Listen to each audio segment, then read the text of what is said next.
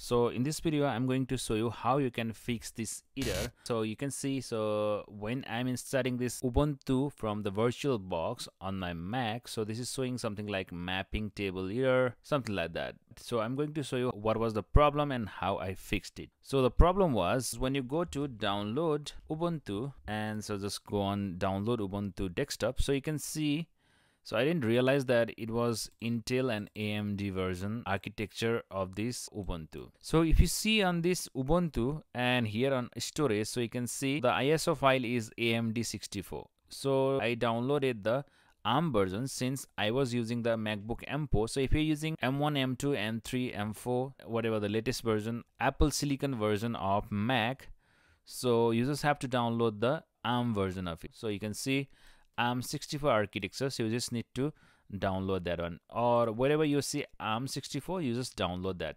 I have already downloaded it. So if you see on my downloads folder so you can see so this one is the AMD and so this one is the ARM ARM64 so let me again create a new operating system. Let me name it uh, Ubuntu new. So ISO image would be so if you just click on other so this one is the ARM64 let me just choose this ISO file. And so you can see unattended one. So skip the unattended in installation and simply click on finish. And if I just start this Ubuntu new now so there should be no problem to start this one. So you can see try or install Ubuntu. So just click enter. So let me just extend this one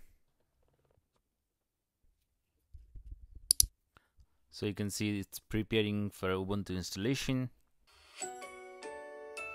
So now you can just choose English click on next. So you can just simply click on next. So I will just keep everything as default and you can just create a name. So or maybe you can just simply close this one and try the Ubuntu here. Let me just try to search for terminal and click enter.